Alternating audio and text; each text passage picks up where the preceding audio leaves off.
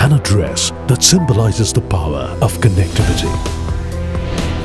A technology that is helping millions fight cancer.